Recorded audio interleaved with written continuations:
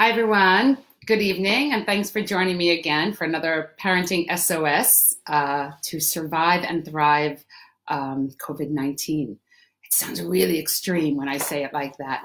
Um, I'm Joy Marchese. I'm the founder of Positive Discipline, and I'm here to share my experiences with you as a positive discipline trainer, as well as um, an educator and a mother. So I have been um, applying positive discipline in classrooms, in corporate settings, um, as an educator for over 20 years. And uh, I'm really excited to be here. And I just have to be real for a minute because, um, you know, this is my second week doing Facebook Lives. I'm really enjoying it and I'm really grateful. I just want to share how grateful I am for all of you that are um, that are watching, that are commenting, that are engaged. Um, it's really encouraging because this is not easy for me. Um, and I, you know, we do a morning session at nine o'clock every morning, Monday through Friday, um, with my partner from iGrow Co. on our Happy Resilient Kids uh, Facebook group and um, my daughter's there. So it's a lot easier for me when I see other people and I'm able to not just stare at myself and talk. Um, this morning, I noticed just how bad my roots are. I don't know about you, but I, you know, I mean, who's washing their hair every single day? Uh, I was thinking today, when am I going to be able to get a haircut? So um, I just want to thank you for being there and for your supports. So for those of you that have been tuning in, and for those of you that tuned in last night, um, we talked, oh, and thank you, Omnea um, from Egypt. Thank you for being on here and for your support. Um, last night we talked about expressing feelings and needs, and I shared a tool that we use called Bugs and Wishes. So I'm wondering if anyone um, who's on the call live, if any of you had the time today during your busy schedules to teach Bugs and Wishes to your kids or to your partner um, or other family members? And if you did, how did it go? And were you able to use a bug and a wish today? Um, I know that actually last night my husband used a bug and a wish straight away with me, and he did it really effectively, and I really appreciated it. So um, if you did not see that episode, you might want to go back on the Facebook page and and check that out. Um, it's a really great tool to use uh, with people.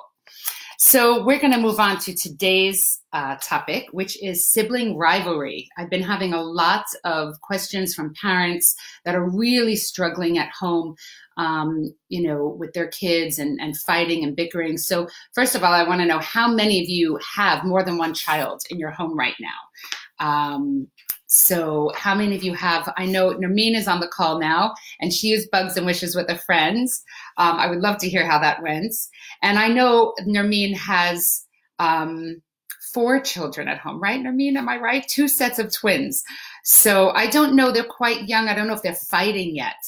Um, and Sam has three. So, uh, you might be dealing with some sibling rivalry. How many are you dealing with constant bickering and fighting and even like full fledged fights? So just put, you know, yes or no in the comments so that people can see that they're not alone because this is a really um, common right now because we're, you know, we're stuck inside 24 seven. We're not used to being around each other uh, that much. So, um, I only have one at home, and so I'm not dealing with the uh, sibling rivalry. However, based on my own life experience, um, I grew up with two older siblings, and uh, we had many, many fights. And I can tell you, based on that experience, that I learned a lot from my siblings um, and from our fights. So I'd like to ask all of you just reflect on your own experience with your own siblings and family members, um, and maybe even your own kids. You know, what were you learning from your siblings? So take a moment to reflect, and can you please put in the comments um, what were you learning from your siblings? So I'll give you an example. From my sister, I really learned um, patience and compassion. Those are two um, qualities that she really, I think, had with me as an older sister. Um, we shared a room our whole lives. And uh, we fought. We were best, best, best friends, and you know, worst enemies when we fought.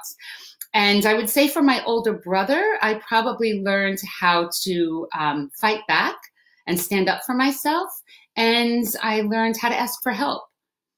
So I'm seeing that some of you are saying, yes, your kids are fighting. um, so if you can go back to some of your um, experiences as a kid. Uh, let's see. Um, do, do, do. Okay, they're definitely. So, is anyone learning anything? I'm not going to hold on too long, but you can just reflect on that.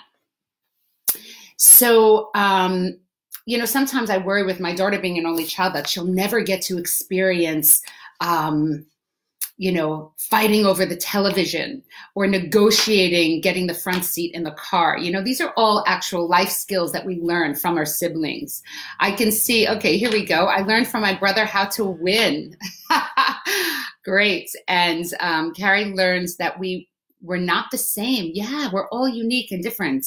Um, and we don't have to be the same. We can kind of agree to disagree sometimes. I learned competitiveness and revenge. Okay. And I think Max, he, I don't know if he's on the call tonight, but I think Max, my husband, um, grew up as an only child. And I think he'd probably tell you he didn't grow up having fights. He probably didn't learn to fight until he met me. Um, so, and Sam said to tread carefully and accepting that my younger sisters were better than me at some things. So, this is really, we can learn a lot from our siblings and from sibling rivalry, even. Um, so, because we can learn so much, it's actually important to sometimes allow the conflict to occur. We just have to think about keeping it at a tolerable level, um, you know, so that nobody gets hurt. Um, so typically, let's think about what happens when when siblings fight, right? Typically, the parent, and they do this completely unconscious. It's not a conscious thing that they're doing, but they typically tend to pick on the same child every time. And when I say pick on them, I mean they might um, expect them, they might pick on them and blame them for starting the fight, like being the instigator. Um, I was blamed a lot for that as a kid, actually. I think I just wanted to be noticed and seen. Um, but, um, or they might actually kind of um, expect them to be the one taking responsibility for resolving the fight. So, you know, they might just expect, for example, the older one, they might say every time to the eldest, you know, you're older, you should know better, or you should be a role model for your younger siblings, right? So they're putting that on the eldest. Um, or they might say to the youngest, you know, you're too young, leave your sister alone. So think about right now, just reflect on that. If you have children that are fighting, do you tend to kind of go to one all the time. Just take a moment to reflect. And again, we do this a lot, you know, subconsciously. Think back to your own childhood. You know, what does it bring up for you? Because when you are the one that's kind of picked on every time, or the one that isn't picked on, okay, it's going to bring up, regardless, lots of feelings and it's going to develop belief systems on either end right? So if I'm the one feeling supported because my parent is constantly picking on um, my my older sibling and saying you need to be more responsible, I might actually start to believe I don't have to defend myself. Someone will be there to protect me, right? We're always learning and we're always making decisions. So really important to think about um, what children are feeling and what they're thinking and what they're deciding, because that's all going to play out. If you missed the episode about belief systems, um, go back and watch that and how we develop them. So you're probably thinking at this point, like, well, what do I do? Let them kill each other? You know, and I'm going to share with you three tools tonight that are designed to help um, resolve fights and actually uh, help with uh, develop cooperation. Okay. And we call these the three B's. You may have noticed I have a poster um, behind me. Which way do I point? Here we go. The three B's. Okay. And these are three different ways that you can respond. The three strategies to respond when your children are fighting, when a fight is going on. And I just want to express the importance of not getting involved and letting them sort it out. Okay. Um, and I do see a question. I find it tough when to not intervene with my children, 11 months and four years old. I know Jane Nelsen says to let them work it out from a young age, but my youngest is still a baby. I'm actually aware not to keep asking my older son what happened. Okay. Um, or what he did? So that's a really good question, and I'm going to get to that at the end um, a little bit when we talk about age and and even bullying that can sometimes take place with siblings. So hold off on that, and if I don't answer it at the end, please come back to me. Um, so here are your three B's. And I would encourage you to try the next time a fight breaks out, choose one and just try it out and just experiment with them and see what kind of works. So the first B is beat it. Okay, that doesn't mean you're going to dance around.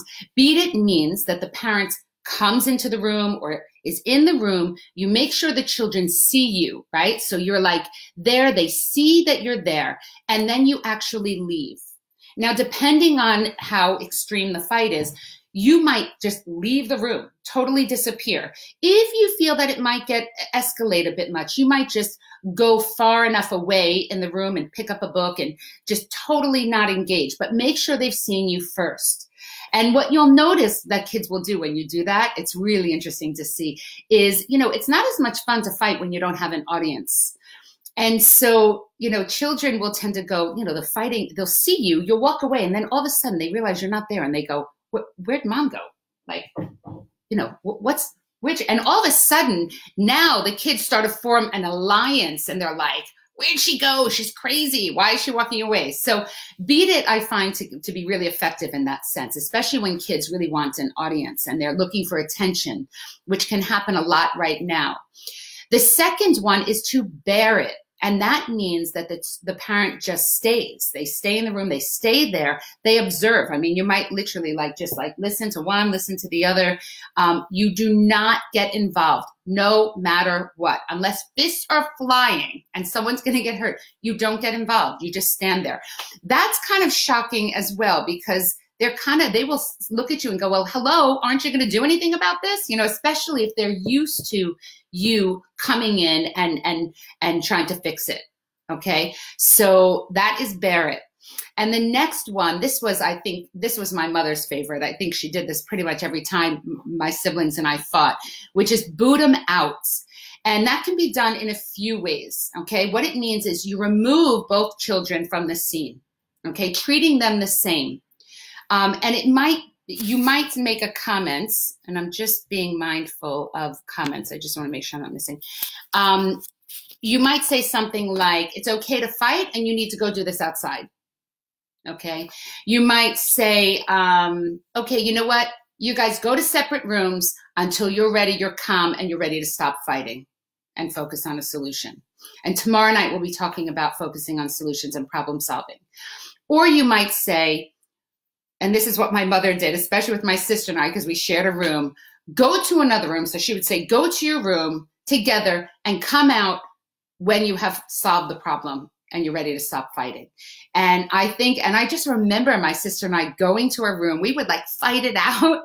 And then, you know, five minutes later, we're best friends again playing with Barbie dolls, you know? Um, so, you know what, we really learned a lot from that. So I would encourage you to next time choose one of the three B's, experiment with them. If you forget what they are, um, you can uh, rewatch this or uh, take a screenshot of the poster so you don't forget them. Make your own po poster of the three B's. Um, and Sam is saying, I remember doing this role play on the course. It was so powerful. How can I have forgotten? Sam, thank you so much for bringing that up because some of you that are on here have taken the live positive discipline course. And, um, you know, this is not rocket science. This is really common sense stuff. It's stuff that we know, but it's stuff that we tend to forget boom, when we flip our lid, because all of our knowledge, right, our problem solving, our, our ability to really um, think about solutions and, and think critically, our high level thinking is totally disconnected. And we are in our emotions, we're in our fight, flight, freeze, um, our reptilian brain. So we forget, especially when fight fights happening, we our safety radar goes off immediately. Um, Nermeen, to answer your question, what if they are hitting each other? And this goes back to Lee a little bit. I'm actually going to read a quote from Jane Nelsen because I want to say it as well as she said it in the parents manual. This comes from the positive discipline, the teaching parents manual. So this might help a bit. Not getting involved in a particular fight is not abandonment. Occasionally, parents have memories of their own parents just leaving them at the mercy of their violent siblings. This is not what we're advocating. It is the parent's job to teach that hurting people is not okay. Unfortunately, this lesson is rarely learned when people, parents intervene in fights by picking sides. So in conclusion, what we're really saying here is that when you interfere by taking sides, you actually create more sibling rivalry. Okay. And it usually lasts a lot longer. So we have a tool card here, which is put them in the same boat. So I don't know if you can see that. I'll read that to you. Um, it says, put kids in the same boat. Instead of taking sides when ch children fight, treat them the same. Number one, give them a choice.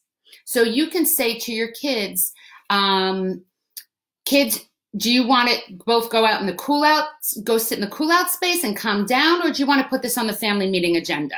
Right? You give them a choice so that they can cool down just to separate them. Now, we will be talking about family meetings, bringing it all together, everything we've been talking about the past two weeks. We will be talking about that on Thursday, so don't miss that. Um, it's a really great time to actually, if you're dealing with a lot of sibling rivalry, to bring it up at a family meeting. Show faith, and we'll, I'll bring this, read this tool card tomorrow, but show faith. Let me know when you have identified the problem and have ideas for solutions. So you kind of put it back on them.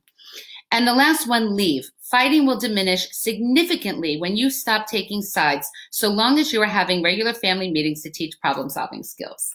Okay, so if they are hitting one another, um, you know, again, I learned from my brother, you know, how to stick up for myself. And I don't mean physically fight back, but how to ask for help when I needed it. And, you know, we always think that the person who got hit is the victim. And in my case, sometimes I was the instigator. Um, as long as there is no, you know, you have to, you don't want there to be bloodshed, right? And how do kids learn that hitting hurts? By experiencing it, right? So there are times where you can kind of play it, let it play out a little bit. And you want to teach children to self advocate for themselves. Ouch, that hurt. And at a moment of calm, after everyone's calm, you go back and you talk about how does it feel to be hit? How did you feel after you hit so and so? You know, did you mean to hurt them and all that? And you talk it through. So it is, you still have to teach them hitting is not okay. And can they sort it out in that moment? Okay. And if not, Nermeen, then to answer your question, you have to separate them. That's when you boot them out. And if you're worried about physical you know, um, you don't boot them out together and put them in the same room like my mom put us in our bedroom. You actually put them in separate rooms um, so that they're not together until they cool down. So I hope that helps. And Lee, to answer your question about the 11 month old and the four year old. So um, you do have to, the 11 month old is still a baby and you do have to protect them. They can't protect themselves. So they can learn and you can deal with it through talking, you can still model through talking to the four year old. The four year old is still learning that self regulation piece. Um, and one of the things that you can do, there's a few tools that really help, which is, you know, redirecting them to something else, distracting them in the moment, and then going back. And of course, supervising, supervising them and trying to catch it before it happens. My mom used to always say, she's not on tonight. She's usually on every night. My mom used to say that she could tell by the laughter when it was going to escalate into a fight. So you can kind of tell intuitively sometimes as a parent when something's going to happen. So with your four-year-old, if you can redirect them, um, it, you know, in the moment so that it doesn't happen. And if it does happen, you know, talk about the feelings. If you didn't hear the episode on the feelings, you can go back to that where they can use a bug and a wish. You know, maybe the 11 month old keeps knocking down her, her tower and that's really bugging her. And she wished that, wishes that he would be you know, in another space. So there's lots of tools that can help um, with that. I hope that this does help. Um, I'm going to end it here tonight and just remind you of a couple of things. So tomorrow night, we're going to be talking about problem solving and focusing on solutions. Thursday night is family meetings, and Friday is live Q&A with Dr. Jane Nelsen, uh, the co-founder of Positive Discipline. She's written over 20 plus books. Uh, she is a in my mind, she's a guru. She's been my mentor. And she has seven children, 22 grandchildren, and I think she's up to 14 great grandchildren. So I think she has a bit of experience that she can share with us on Friday. So please um, message me in the comments your questions that you have for Jane on Jane and I on Friday, and we'll try to make sure we answer. We might go a little bit longer on Friday so that we can answer everyone's questions. So until tomorrow night, be well, be calm, stay safe, and thank you for joining me. Take care. Bye.